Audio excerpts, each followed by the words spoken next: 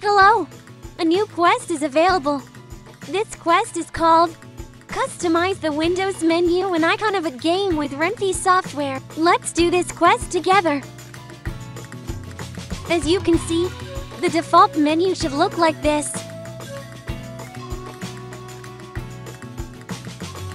To change the menu images, find the GUI folder in your project. This folder contains several files containing images. These are the default files managing the user interface when you create a project with the Ren'Py software. Let's personalize the menu.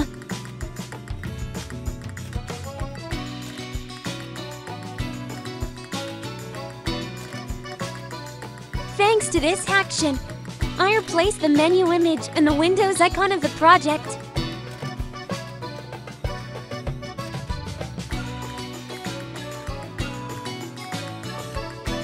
Our first step of this quest is complete. Amazing!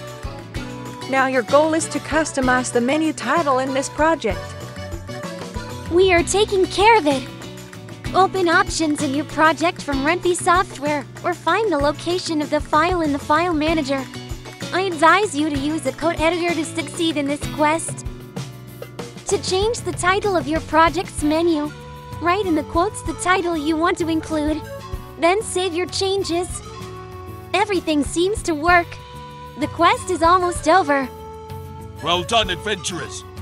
I need you to remove the title of this project. Can you help me? Of course. Let's see this together.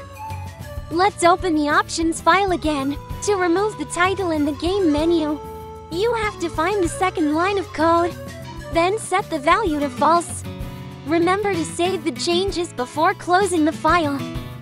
Here is the end result. This quest is over. Well done, adventures! Thank you for watching this video. I hope it has been useful to you in your project. Goodbye.